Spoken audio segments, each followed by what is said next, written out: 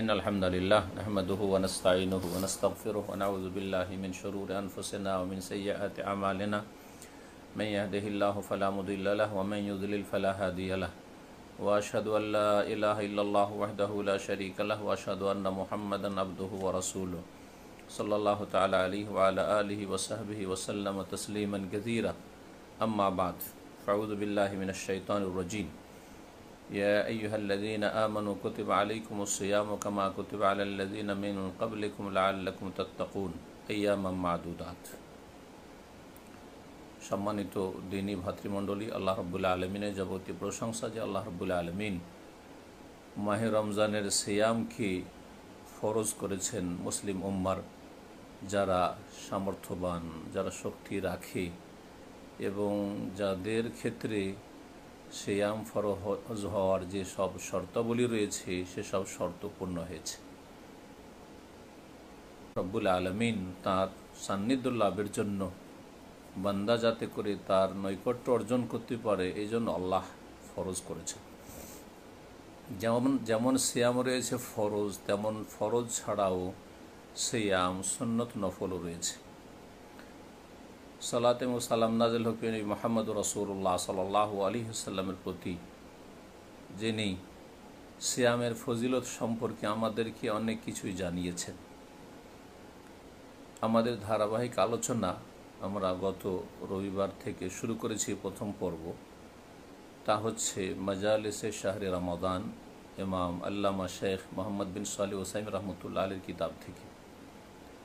আজকে মঙ্গলবার, আঠাইশে সাবান চোদ্দোশো একচল্লিশ হিজির মোতাবেক একুশে এপ্রিল দু হাজার বিশ। আজকে দ্বিতীয় পর্ব নিয়ে আলোচনা করব। প্রথম পর্ব ছিল ফাজাইল রামাদান বা রমজানের ফজিলত সম্পর্কে।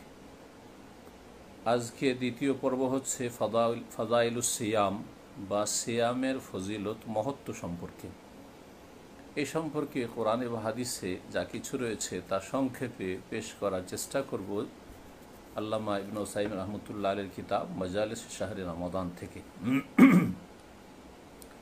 মনে রাখতে হবে যে সিয়াম অত্যন্ত গুরুত্বপূর্ণ আর ফজিলতপূর্ণ ইবাদত। বড়ই সওয়াব এবং নেকির কাজ। এই মর্মে কোরআন বাহাদিসে দলিল রয়েছে, জি। তার কিছু আমরা আজকে পেশ করব। প্রথম যে বিষয়টি পেশ করব তা হচ্ছে সেয়ামের ফজিলতের একটি দিক হচ্ছে যে এত গুরুত্বপূর্ণ এবাদত, এত ফজিলতপূর্ণ এবাদত যে আল্লাহ রাব্বুল আলমিন তা প্রত্যেক উম্মাতের ওপর, প্রত্যেক জাতির ওপর ফরজ করেছেন।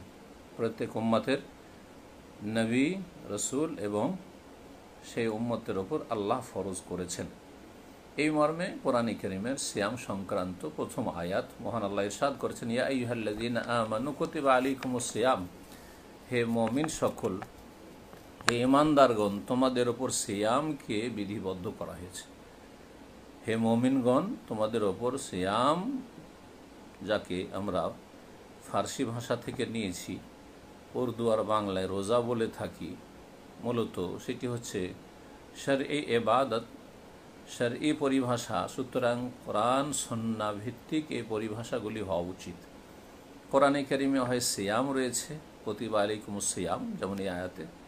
আর না হলে সম শব্দটি কোরআনে কারিম উল্লেখিত হয়েছে যে এমনি নজর তলির রহমানের সৌমা মারিয়াম আলী আসসালামের ঘটনায় জি। কতিবা আলী সিয়াম, তোমাদের উপর সিয়ামকে ফরজ করা হয়েছে। কতিবা মানে ফরিজা, ফরজ করা হয়েছে। কামা কতিবা আলাল্লাদিন আমিন কাবলেকুম যেমন তোমাদের পূর্ববর্তী জাতির ওপর ফরজ করা হয়েছিল। তোমাদের পূর্বে যেসব জাতি, উম্মত চলে গেছে, তাদের উপর ফরজ করা হয়েছিল। লা আল্লাকুম তাত্তাকুন, উদ্দেশ্য সিয়ামের হচ্ছে যাতে করে তোমরা তাকুয়া হাসিল করতে পারো। তোমাদের মধ্যে আল্লাহ ভীরুতা আসে। তোমরা পাপ মুক্ত হওয়ার প্রশিক্ষণ নিতে পারো। তোমরা যাতে করে জীবনের প্রতিটি ক্ষেত্রে সংযত হতে পারো। তাত্তাকুন তাকুয়া। বেঁচে থাকার মতো ক্ষমতা তোমাদের মধ্যে যাতে করে তৈরি হয়, এ হচ্ছে তাকুয়া। আল্লাহর ভয়ে অপাচার থেকে বেঁচে থাকা। আল্লাহর ভয়ে ফরজ অজেব ত্যাগ করা থেকে বেঁচে থাকা। আল্লাহর ভয়ে হারাম নাজাজে লিপ্ত হওয়া থেকে বেঁচে থাকা। এ হচ্ছে তাকুয়া সংক্ষেপে। তো এই সিয়াম ফরজ করা হয়েছে আমাদের ওপর। যেমন ফরজ করা হয়েছিল পূর্ববর্তী জাতিগুলির ওপর। আল্লাহ বলছেন, কামা কতিব আল্লাহমিন কাবলিকু তাহলে এর দ্বারা প্রমাণিত হলো যে অন্য অন্য সমস্ত উম্মত যাদের কাছে আল্লাহ নবী রসুল পাঠিয়েছেন, তাদের কাছে সিয়ামের বিধানও পাঠিয়েছেন, যা প্রমাণ করে যে সিয়াম এর এবাদত অত্যন্ত গুরুত্বপূর্ণ। এই জন্য এমন কোন উম্মত ছিল না যাদের কাছে আসমানি বিধান ছিল আর তাদের সিয়ামের বিধান ছিল না। এবং এর ওপর আল্লাহ রব্বুল আলমিন মহাপুরস্কারও রেখেছেন। কারণ আল্লাহ চান যে তার বান্দাদেরকে মহাপুরস্কার দান করেন। এবং এর মাধ্যমে আল্লাহ রব্বুল আলমিনের সান্নিধ্য লাভ হয়ে থাকে।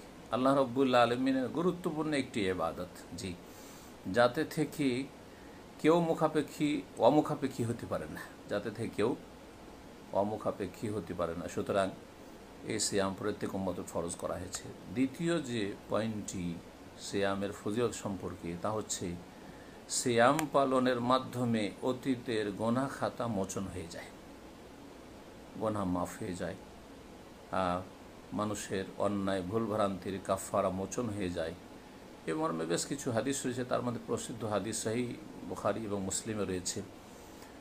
আবুহার রদি আল্লাহ তালাহ থেকে বর্ণিত বলছেন, নবী করিম সাল্লাহ আলী সাল্লাম বলেছেন মনসামা রমদানা ইমানান ওয়াহতে সাবান গোফের আলহ মাতাকাদ্দামিন জম্মি যেই ব্যক্তি রমজান মাসের সিয়াম পালন করল, আল্লাহর প্রতি ইমান রেখে, তার মানে শুধু পানাহার ত্যাগ করলে হবে না, বা সিয়াম ভঙ্গকারী যে বিষয়গুলি রয়েছে, সেগুলি থেকে বিরত থাকলে হবে না, বরং শ্যাম পালন করতে হবে আল্লাহর প্রতি বিশ্বাস রেখে যে যেহেতু আল্লাহ আমার ওপর এই সিয়াম ফরজ করেছেন। আল্লাহ রব্বুল আলমিনের কাছে এর আশা রেখে যে আমি এতে কিছু পাব।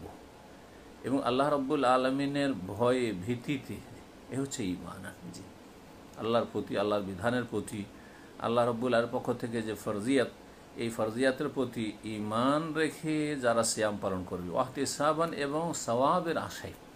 আল্লাহর কাছে আমি সওয়াবের আশা রাখি, নেকির আশা রাখি। এই নিয়তে ইমান এবং এহতেসাব দুটো শব্দের শর্ত লাগানো হয়েছে। আল্লাহর প্রতি ইমানের সাথে এবং নেকির আশায় যে ব্যক্তি শ্যাম রমদান রমজান মাসের ফরজ শ্যাম আদায় করবে গোফের আল্লাহ মাতাকাদ্দাম জাম্মেহি তার অতীতের গুণাগুলি ক্ষমা করে দেওয়া হবে।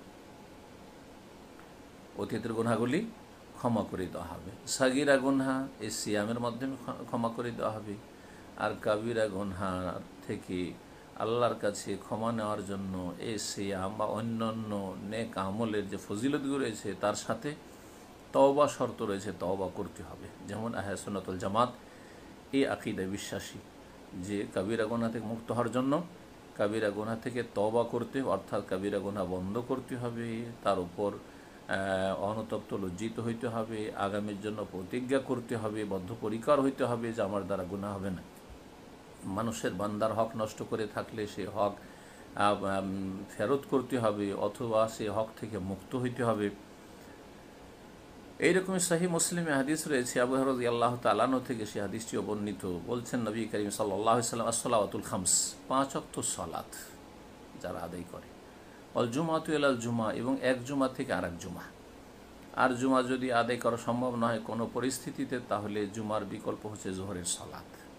ও রমাদান ও এলা রমাদান এবং প্রত্যেকটি রমজানে যারা সে আম পালন করল মোকা মোকাফেরাতুন লেমা বাইনা হন্না মোকাফেরাতুন মা বাইনা হন্না দুই রকম রয়েছে। এর মাঝের গোনাগুলি মোচনকারী হয়ে যাবে। পাঁচ অক্ত সলাদ জুমার সলাদ আর রমজান মাস, রমজান মাসের সিয়াম, এগুলি এর মাঝের গণাগুলির জন্য মোচনকারী হয়ে যাবে কাফেরাত হয়ে যাবে কাফারা হয়ে যাবে। এজাজ তো নেবাতিল কাবায়েরও কিন্তু শর্ত হচ্ছে যদি কাবিরা গোনা থেকে বেঁচে থাকা হয়। বলে বোঝা গেল যে কাবিরা গোনা থেকে বেঁচে থাকতে হবে। আর কাবিরা গোনা থেকে ক্ষমা চাইলে তবা করতে হবে। শুধু সিয়ামের মাধ্যমে কাবিরা থেকে ক্ষমা পেয়ে যাবে, এটা হবে না। এজাজ বাতিল কাবাইরু কাবিরা থেকে যদি বেঁচে থাকে। তিন নম্বর ফজিলত সিয়ামের হচ্ছে যে সিয়ামের যে প্রতিদান রয়েছে সবাব নেকি রয়েছে, তা একটা নির্দিষ্ট সংখ্যায় সীমিত নয়। যেমন একটা নেকি করলে, একটা সবের কাজ করলে দশ গুণ, অথবা দশটা একশত গুণ, একশো সাতশত গুণ এইরকম যে হাদিসগুলি রয়েছে, অন্য অন্য এবাদত বন্দীগীর ক্ষেত্রে সবের কাজের ক্ষেত্রে, সিয়ামের ফজিলত এই দশে অথবা একশোতে অথবা সাতশোতে সীমিত নয়। বরং শ্যাম পালনকারী রোজাদারকে অফুরন্ত তাকে প্রতিদান দেওয়া হবে। বিনা হিসাবে, আল্লাহ এই হিসাব জানে, কোনো মানুষ এই হিসাব জানে না, কোনো জিন এই হিসাব জানে না। মালাইকাকে এর জন্য দায়িত্ব দেওয়া হয়নি যে এতটা দাও। বরং আল্লাহ রব স্বয়ং এর বদলা দেবেন বিনা হিসাবে। এই মর্মে সহি বখারি মুসলিমে হাদিস রয়েছে, আবু রাজি আল্লাহ তালানো থেকে রসুল্লাহ সাল্লাহ আলী সাল্লাম বলেন, কাল আল্লাহ তালা মহান আল্লাহ ইরশাদ করেছেন হাদিসে কুলসিতে কুল্লু আমালে ইবনে আদম আল্লাহু আদম সন্তানের প্রত্যেকটি আমল তার জন্য। অর্থাৎ তাতে সেই আমলগুলিতে যে আমলগুলি রয়েছে, তাতে তার একটা অংশ রয়েছে। জি, তার একটা অংশ রয়েছে। জি হ্যাঁ। সেটা সহজে প্রকাশ পায়। জি, মানুষ গোপন করলেও গোপন সাধারণত থাকে না। জানবেই মানুষ, জি। আর সেখানে লোক দেখানো নিয়ত চলে আসতে পারে, সম্ভাবনা খুব বেশি রয়েছে। করল আমলে ইবিনে আদম আল্লাহ। আদম সন্ধ্যার প্রত্যেক আমল তার জন্য। তাতে তার ভাগ রয়েছে। ইল্লা সৌম তবে সৌম তবে সেয়াম, রোজা। ফাইন্নাহু লি, আল্লাহ বলছেন যে সেয়াম একমাত্র আমার জন্য হয়। বান্দার তাতে কোনো রকমের অংশ থাকে না। আপনি দান খায়রাত করলে মানুষে জানবে, সুতরাং সুনাম করবে। একটা অংশ পেয়ে গেলেন সুনামের।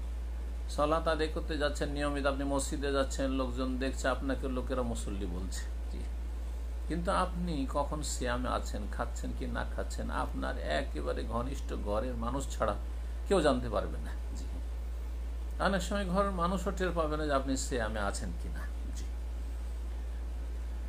তো বলছেন আল্লাহ রবুল্লা আলমিন যে একমাত্র সম ফাইন না হল্লি এই সম রোজা আমার জন্য রাখা হয় একমাত্র।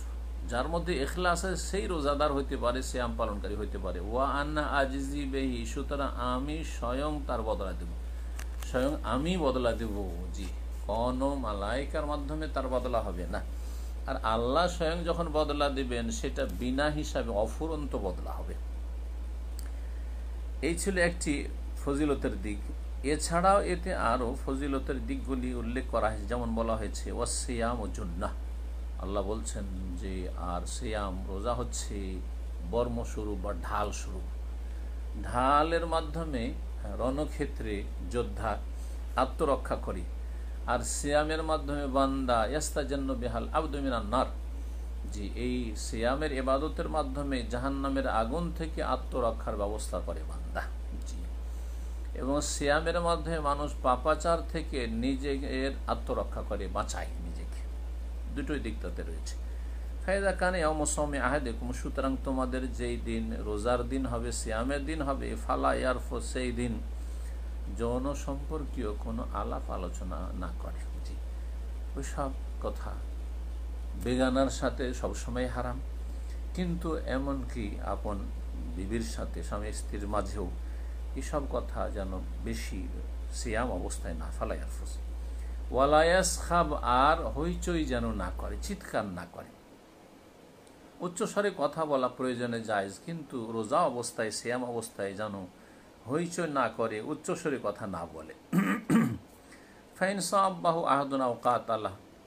তারপরে কেউ যদি গালমন্দ করে আপনাকে আওকাত আলো অথবা মারামারি করতে আসে, ফালিয়াকুল, জি, প্রতি উত্তর করবে না। হ্যাঁ গালের বদল গাল নয়। মারতে আসছে, আমিও লাফিয়ে যাব এমনটা নয়। বরং বলবে, ইন্নি সাইম, আমি সিয়াম অবস্থায় আছি। আমি রোজার অবস্থায় আছি। ইন্নি সাইম, আমি সিয়ামে আছি। আমি সিয়ামে আছি বলার মাধ্যমে একটি কথা তাকে জানাবে, একটি মেসেজ, সেটা হচ্ছে যে আমি কাপুরুষ নই, আর আমি তোমার চাইতে দুর্বল নই যে আমি জবাব দিতে পারব না। তুমি মারতে আসছো, আমি মারতে পারব না এমন কথা নয়, পারব, কিন্তু আমি সিয়াম অবস্থায় আছি। এটা একটা মেসেজ দেওয়া থাকে। আর একটি মেসেজ দেওয়া যে আমি সিয়াম অবস্থায় আছি, রোজা অবস্থায় আছি, সুতরাং রোজাদার যে এবাদতে আছে, তার শ্রদ্ধা সম্মান করা। হ্যাঁ তার মান সম্মানের খেয়াল রাখো, তার সাথে ভালো আচরণ করো। সে আল্লাহর এবাদতে নিয়োজিত আছে, তার সাথে খারাপ আচরণ করিও না। নিসাইল আল্লাহর ভয় ভীতি তার মধ্যে সঞ্চার করার চেষ্টা করা। তারপরে আল্লাহ রবনে বলছেন ওয়াল্লাজি নফস মোহাম্মদিন বিয়াদিহি বা রসুরত বলছেন, সে আল্লাহর শপথ করে বলছে রসুর উল্লাহ সাল্লাম বলছেন, যার হাতে মোহাম্মদ সাল্লাহ সাল্লামের প্রাণ রয়েছে মিস্ক। জি। রোজাদারের মুখের ঘ্রাণ মুখের ঘ্রাণ ক্ষুদাই থাকার কারণে, সারাদিন অনাহারে থাকার কারণে, ভিতর থেকে, পাকস্থলী থেকে যে ঘ্রাণটা বেরিয়ে আসে মুখ দিয়ে, সেটা বোঝানো হয়েছে। এই খালুফ মানে এই নয় যে কেউ দাঁত পরিষ্কার করবে না, মুখ পরিষ্কার করবে না আর তারপরে দাঁতে আর ভাই মুখে ময়লা আবর্জনা হয়ে আছে, আর সেই জন্য মুখ গন্ধ করছে, সেটা আল্লাহর কাছে প্রিয় না, সেটা সব সময় সেটা হচ্ছে খারাপ, সেটা সবসময় খারাপ। সুতরাং সকালে হোক আর দুপুরে হোক আর বিকালে হোক দাঁত পরিষ্কার করতে হয়, মিসওয়াক করতে হয়। মিসওয়াক সকাল বিকাল সব সময় করতে হবে যাতে করে মুখ, দাঁত পরিষ্কার থাকে। এখানে খালুফ বলতে ক্ষুদায় থাকার কারণে যে ভিতর থেকে ঘ্রাণটা আসে, যেটা বাহ্যিক, তাতে একটা গন্ধ আছে, কিন্তু সেটা আল্লাহর কাছে আতিয়াব। আল্লাহর কাছে অধিক সুগন্ধিময়। মেন রিহিল মিস্ক মৃগনাভি থেকে যে সুগন্ধি হয়, আতর হয় মিসকাম্বারির তার চাইতে বেশি। তার চাইতে বেশি আল্লাহর কাছে সুগন্ধিময়। তারপরে রসুল্লাহ বলছেন ইসাই ফারহাতান। রোজাদারের দুটো খুশির সময় রয়েছে শ্যাম পালনকারী দুটো খুশির সময় রয়েছে। ইয়াফরাহমা যে দুটো খুশি আনন্দ রোজাদারের হয়ে থাকে। একটি হচ্ছে এজা আফতারা ফারিহাবে ফিতরেহি ইফতারির সময় একটা খুশি হয়। ইফতারির সময় খুশি হয় সারাদিন অনাহারে থাকার পরে যে যখন খাওয়া দাওয়া পেল, সিক্ত হইল শরীর, একটা পার্থিব খুশি। জি। আর একটা দিনই খুশি যে আলহামদুলিল্লাহ একটা সম বা একটা রোজা আমি কমপ্লিট করলাম, এটা হচ্ছে খুশি। জি। এ হচ্ছে সন্ধ্যাবেলার খুশি, ইফতারির সময়। ওয়াইজ আল্লাহ রব বাহু ফারিহাবে সমি আর যখন রবের সাথে সাক্ষাৎ ঘটবে, আল্লাহর কাছে মহাপুরস্কার পাবে। যখন অগণিত আল্লাহ প্রতিদান দেবেন সবাব নেকি দিবেন, তখন এই সিয়ামের মাধ্যমে অত্যন্ত খুশি অনুভব করবে, খুশি হাসিল করবে একজন বান্দা, আল্লাহ রব্বুল্লা আলমের সাথে যেদিন সাক্ষাৎ হবে। এভাবে শাহী মুসলিমের রেওয়ায়ত রয়েছে। এই হাদিসটি কিন্তু কিছু শব্দের পার্থক্যের সাথে আল্লাহ রবনে বলছেন, কুল্ল আমাল ইবনে আদম আল্লাহ। আদম সন্দের প্রত্যেকটি আমল তার জন্য, অর্থাৎ তাতে তার অংশ রয়েছে। ইয়োদা আফুল হাসানাত আশারি আমসালি এলাসাবিম আতদাইফিন নেকিকে দশ গুণ করা হয়, এমনকি একশো থেকে সাতশো গুণ পর্যন্ত করা হয়। কাল আল্লাহ তালা তবে মহান আল্লাহ বলছেন, ইল্লা সম তবে রোজা সিয়াম। ফাইনাহুল্লি সেটা একমাত্র আমার জন্য। আনা আজজি বেহি, আর আমি তার প্রতিদান দেব। কেন? ইয়াদাউ শাহুয়াতাহু তো আমাহু মিন আজালি, কারণ সেই ব্যক্তি তার মনের কামনা, বাসনা এবং তার পানাহার আমার জন্য একমাত্র ছেড়েছে। কারণ পানাহার যদি করে ফেলে গোপনে, তো কেউ জানতে পারবে না। নির্জনে কেউ পানাহার করল, কেউ জানতে পারবে না। তাহলে একজন রোজাদার মানুষ যে পানাহার পরিত্যাগ করেছে, তার কামবাসনা পরিত্যাগ করে থেকেছে সারা দিন, গোটা রমজানের দিনগুলিতে, এটা কার জন্য? মিন আজলি, একমাত্র আল্লাহ রব্বুল্লা আলমিনের জন্য। এই হাদিসে কয়েকটি দিক ফজিলতের ছিল। তার মধ্যে প্রথম দিক যেটি ছিল, সেটি হচ্ছে যে আল্লাহ রব্বুল আলমিন সিয়ামকে নিজের জন্য খাস করেছেন। অন্য আমলকে নিজের জন্য খাস করেননি। এটা প্রমাণ করে এই সিয়ামের এবাদতের মর্যাদা এবং আল্লাহ যে কত ভালোবাসেন সিয়ামকে এবং এখলাস প্রমাণ করে।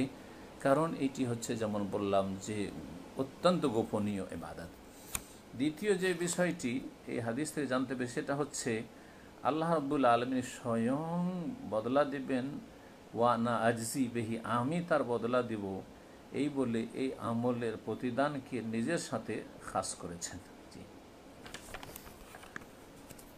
তৃতীয় যে বিষয়টি জানলাম, সেটা হচ্ছে শ্যাম হচ্ছে ঢাল।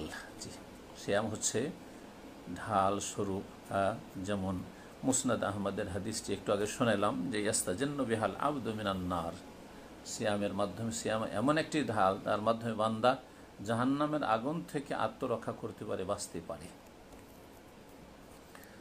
এতে চার নম্বরে যে বিষয়টি রয়েছে, সেটা হচ্ছে যে রোজাদারের মুখের যে ঘ্রাণ, আল্লাহর কাছে কত প্রিয় যে জি আতিয়াবাইন্দাল্লাহমের রেহেল মিস, মিসকাম্বারের যে সুগন্ধি রয়েছে তার চাইতে বেশি প্রিয়। পাঁচ নম্বরে যে বিষয়টি জানতে পেরেছি সেটা হচ্ছে যে রোজাদারের দুটো খুশির সময় রয়েছে। একটা হচ্ছে ইফতারির সময়, আরেকটি হচ্ছে আল্লাহর সাথে সাক্ষাতের সময়। তারপরে যে পয়েন্টটি আলোচনা করব সেটা হচ্ছে, কেয়ামতের দিনে আল্লাহ রাবুল আলমিনের কাছে রোজাদার বান্দা সিয়াম পালনকারী যখন হাজির হবে, তখন আল্লাহ রব্বুল আলমিন ঘোষণা করবে আইনা সায়েমুন? কোথায় সে রোজাদাররা? কোথায় সে রোজাদাররা? লেয়াদ খুলুল জান্নাত মিম বাবির রাইয়ান, যাতে করে তারা রাইয়ান দরজা দিয়ে জান্নাতে প্রবেশ করে। আল্লাজি লায়াদ হলো আহাদুন গাইরহম যেই দরজা দিয়ে তারা ছাড়া অন্য কেউ আর প্রবেশ প্রবেশ করবে না। এ হাদিসও রসুল্লাহ সাল্লাহ আলী সাল্লাম থেকে বিভিন্ন ভাষায় প্রমাণিত রয়েছে যে রোজাদারদের জন্য স্পেশাল দরজা রয়েছে জান্নাতে। রোজাদার রোজা তো রমজান মাসের যদি হয়, তাহলে সেটা সবার জন্য ফরজ। তাহলে একজন মানুষ যদি রোজা না রাখে, তো জান্নাতে যেতে বাধাপ্রাপ্ত হবে। কিন্তু এই হাদিসের উদ্দেশ্য, আল্লাহ আলম, সেটা হচ্ছে যারা বেশি বেশি সন্ন্যত নফল সিয়াম পালন করেছে, তাদের জন্য স্পেশাল দরজা আর এই নয় যে যারা রোজা রাখেনি, ইসলামের একটা গুরুত্বপূর্ণ ফরজ এবাদত ছেড়ে দিয়েছে, আর তারা অন্য দরজা দিয়ে জান্নাতে চলে যাবে, এটা বোঝানো হয়নি। যদিও যাই, তাহলে তারা শাস্তি পাওয়ার পরেই যাবে, শাস্তি পাওয়ার পরেই যাবে। আর আল্লাহ ইচ্ছা করলে আর হয়তো রোজায় ঘাটতি রেখেছে, আর তারপরে তওবা করেছে, আল্লাহ তার তওবা কবুল করেছেন। সুতরাং আল্লাহ শাস্তি না দিয়ে তাকে জান্নাতে দেবেন, সেটা ভিন্ন বিষয়।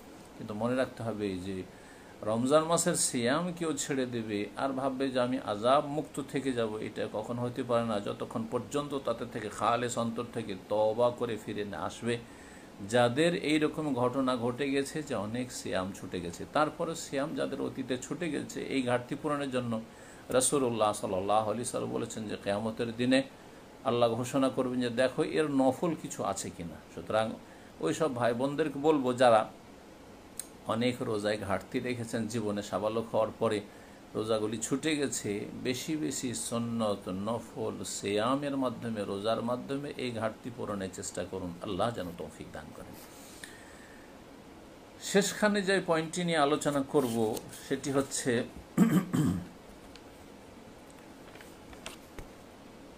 শ্যামের ফজিলতের পয়েন্ট শেষ পয়েন্ট সেটি হচ্ছে যেই ব্যক্তি শ্যাম পালন করবে নিয়মিত, এই শ্যাম তার জন্য কিয়ামতের দিনে সাফাত করবে, সুপারিশ করবে। যেমন সাফাত হবে রসুল্লাহ সাল্লাহ আলি সাল্লামের, সাফাতে উজমা, বৃহৎ সাফাত হবে। জি। আর তারপরে অন্য অন্য আম্বিয়া রসুলগণের সাফাত হবে, তারপরে সিদ্দিকিন, সোহাদা, সালেহিনদের সাফাত হবে। আল্লাহর অনুমতিতে হবে, জি হ্যাঁ। আল্লাহ যার জন্য চাইবেন তাদের জন্য সাফাত হবে।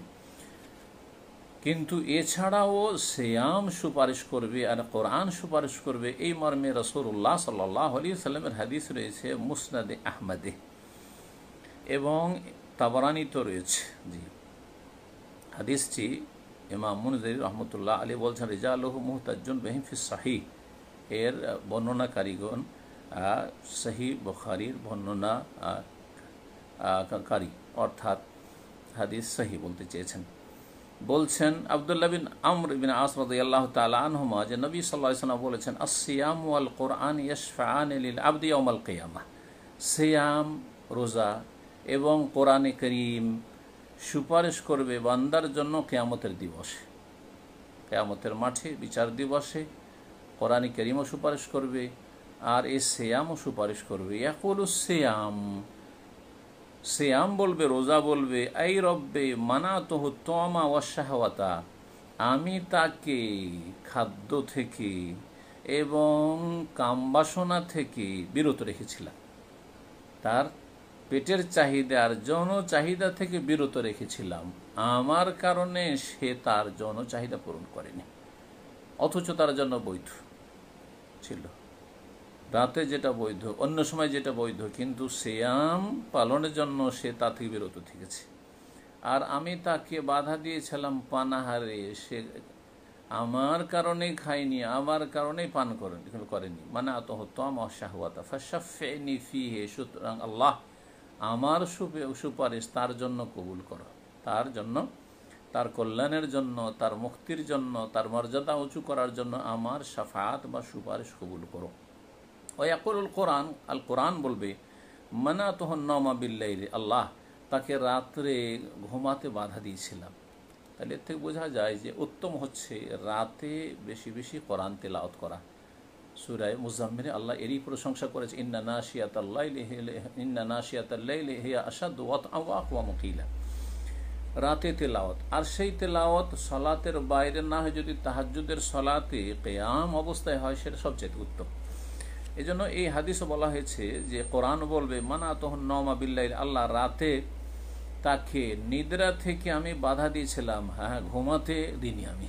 কারণ আমার কারণে সে রাত জেগে জেগে কোরআন তেলাওয়াত করেছে, রাত জেগে তাহাজুদ পড়েছে। ফসাফে নিফি সুতরাং এই বান্দার জন্য আমার সুপারিশ কবুল করু। কালা ফায়ুস ফায়ুসফা আন বা ফায়ুসাফা আন তাদের সুপারিশ কবুল করা হবে। অর্থাৎ সেয়ামের সুপারিশও কবুল করা হবে আল্লাহর কাছে আর কোরআন করিমের সুপারিশ কবুল করা হবে। এই ছিল সিয়ামের ফাজাইল সম্পর্কে কিছু কথা কোরআনে হাদিসের আলোকে। আল্লাহ রব্বুল আলমী যেন আমাদেরকে কোরআন সন্ন্যার কথা শেখার, জানার তৌফিক দান করেন, আমল করার তৌফিক দান করেন, দাওয়াত দেওয়ার তৌফিক দান করেন এবং আল্লাহ রব্বুল আলমিন আমাদেরকে আল্লাহ মাবাল্লেগনা রমাদান, সহি সালামত, নিরাপদ আমাদেরকে রমজান পর্যন্ত যেন পৌঁছিয়ে দেন।